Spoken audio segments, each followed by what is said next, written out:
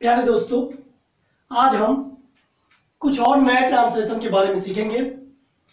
तो चलते हैं इस नए ट्रांसलेशन पे और ट्रांसलेशन की कड़ी में अगले ट्रांसलेशन का हम अनुवाद सीखते हैं। तो सबसे पहले हम देख लें, ये कुछ ट्रांसलेशन के वाक्य हमने लिखे हुए हैं। उसे सच बोलना चाहिए था चाहिए था, बोल नहीं सका है। उसे झूठ नहीं बोलना चाहिए था। उसे सतर्क रहना चाहिए था। उसे ईर्ष्यालु नहीं होना चाहिए था। तो ऐसे वाक्य जो चाहिए था पे इंड हो रहे हैं, इसे बनाने के लिए इंग्लिश में जो रूल होता है, ऐसे वाक्यों से यह बोध होता है कि भूतकाल में जो कार्य, कर्तव्य या बाध्यता के चलते होना था, जिसमें कर्तव्य था कि आपको ये करना ही था, बाध्यता था, ये कार्य होना था वह पूरा नहीं हुआ। वाक्य से वह पूरा नहीं हुआ। अर्थात अनुचित कार्य हुआ। जो कार्य होना था, वो नहीं हुआ। इसका अनुवाद जब करते हैं तो होता है सब्जेक्ट प्लस शुड हैव चाहिए क्या स्पेलिंग शुड और है पास्ट पार्टिसिपल पास्ट पार्टिसिपल यानी कि वर्ब का third form past participle second structure में होता है subject plus should have been subject plus should have been plus adjective न कि past participle adjective third subject plus ought to ought के साथ टू लगा देंगे या ध्यान देंगे. आउट टू है प्लस पास्ट पार्टिसिपल यानी कि वर्ब का थर्ड फॉर्म और फोर्थ नियम है, जो रूल है स्ट्रक्चर है इसका subject plus ought to have been ought to have been plus noun या एडजेक्टिव या वर्ड में होके नाउन और एडजेक्टिव आएगा तो आपका बिन जुट जाएगा। तो ये इसकी स्ट्रक्चर है। जैसे उससे सच बोलना चाहिए था। तो इसका ट्रांसलेशन हमने बताया है, ही इधर देख लेंगे, उसे सच बोलना चाहिए था। तो इसका हो जाएगा ही या सी, कोई भी लड़का हो चाहता है। शुड हैव, जैसा कि हमने बताया है, शुड हैव। स्पो, स्पीक मीन्स होता है सच बोलना। तो पास्ट पार्टिसिपल हो जाएगा स्पोकेन। द ट्रूथ, सत्य बोलना चाहिए था। तो ये पहले का आंसर हो गया। उसे सतर्क रहना चाहिए था। तो ही या सी शुड एडजेक्टिव है। इसलिए सतर्क रहना चाहिए था। ये थर्ड नंबर बन गया आपका। गलत से थर्ड नंबर का बना दिया हमने। और ये आपका हो जाएगा सेकेंड नंबर का। हाँ ये देख लीजिए। शुड कॉशियस सतर्क रहना चाहिए था। उसे झूठ नहीं बोलना चाहिए था। तो ही या सी सुडंट सुड के साथ नॉट लगा देंगे। Have told lies. Tell lies होता है लेकिन पास्ट पार्टिसिपल में बन जाएगा told lies. Number four, he या she student have been jewellers. उससे शालू नहीं होना चाहिए था। तो इस रूल की, इस प्रकार के सेंटेंस को जो भूतकाल में शुरू हुआ और बाध्यता या कर्तव्य होने के नाते वह पूरा नहीं हो सका तो उसे हम इस स्ट्रक्चर के अनुसार हम इसे बनाते हैं। अब कुछ वाक्य देख लेते हैं और उसे हम बनाकर प्रैक्टिस करते हैं।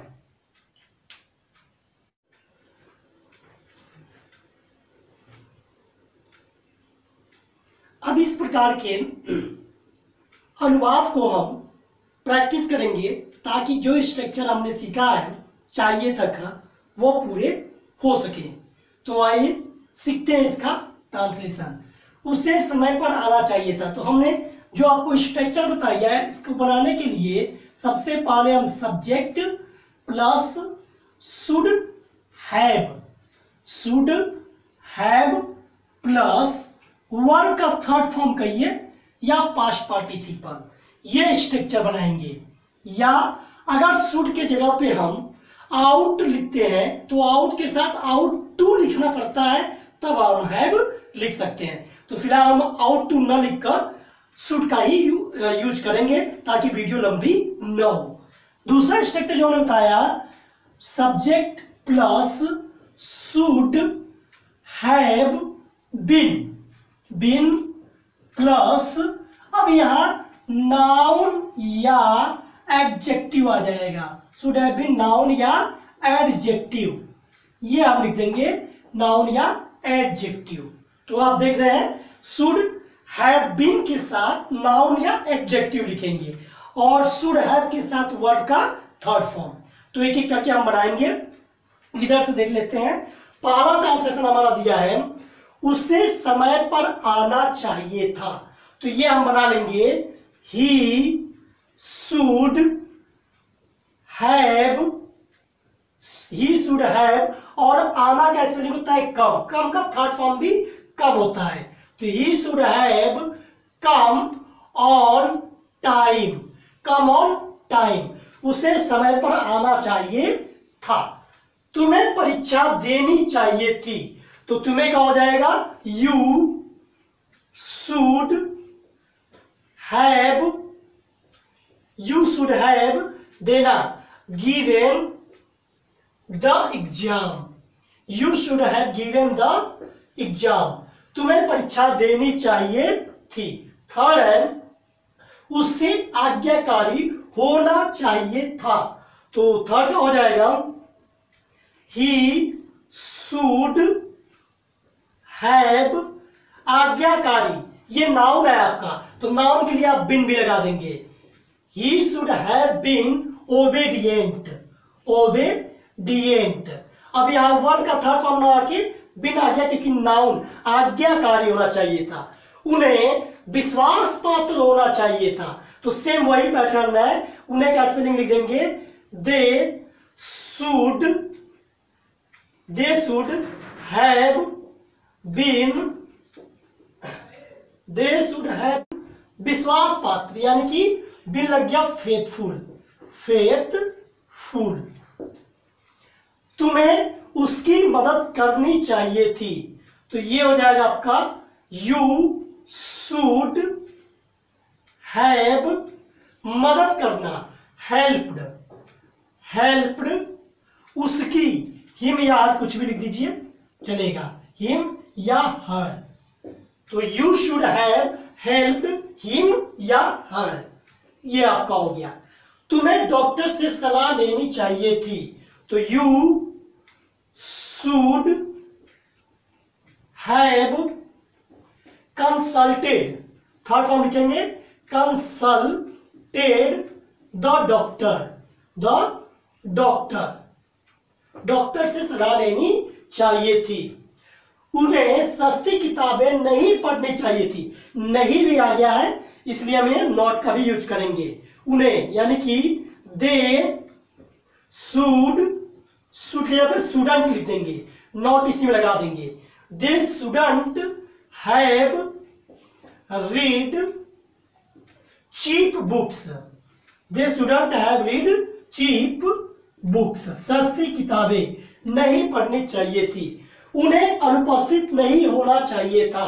तो ये आपका हो जाएगा उन्हें। यानी कि दे शुड हैव नहीं होना चाहिए। They student they student have been अनुपस्थित। अनुपस्थित का हो जाएगा? एबसेंट ये नाउन बन गया है एबसेंट उसे निमंत्रण स्वीकार करना चाहिए था। तो उससे क्या हो जाएगा? He should have accepted third form लगा देंगे। Accepted the invitation the invitation invitation. He should have accepted the invitation उसे निमंत्रण स्वीकार करना चाहिए था। He should have accepted the invitation मुझे मोहन को बधाई देनी चाहिए थी। मुझे, यानी कि आई शुड हैव कॉन्चुलेट कॉन्चुलेशन कॉन्चुलेटेड हो जाएगा।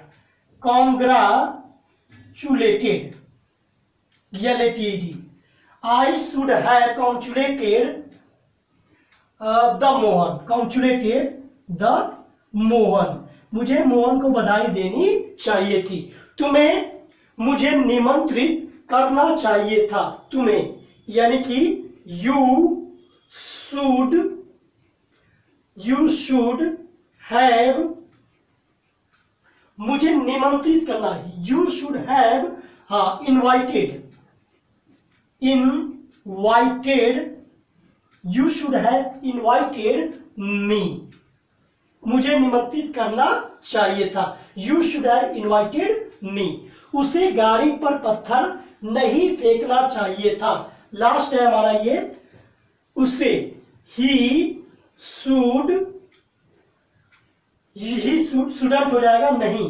ही शुडेंट हैव हाँ he shouldn't have thrown T H R O W N third form thrown the stone पत्थर stone on van on van तो इस प्रकार हमारा ये चाहिए थे कि सेंस में ट्रांसलेशन बना। He should have come on time इसको चाहे तो हम आउट टू हैव भी लिख सकते हैं। He ought to have comma come on time you should have given the exam तो you ought to have given the exam he should have been an obedient तो he ought to have been obedient they should have been faithful they ought to have been faithful van तो इस प्रकार हम जहाँ should का use किए हैं, वहाँ हम देखते हैं कि आउट टू आउट यानी कि O U G H T ought और इसके साथ टू का आना अनिवार्य है। आउट टू का भी यूज़ करके हम ट्रांसलेशन बना सकते हैं। याद रखेंगे आउट के साथ टू भी आना अनिवार्य है। तो इस प्रकार ये ट्रांसलेशन हमारा बन के पूरा हुआ। ऐसे एक एक ट्रांसलेशन हम लाते रहेंगे। तो यूट्यूब पर ये रहेगा आपका। सब्सक्राइब करिए ताकि मेरी जिज्ञासा बनती रहे। जय हिंद।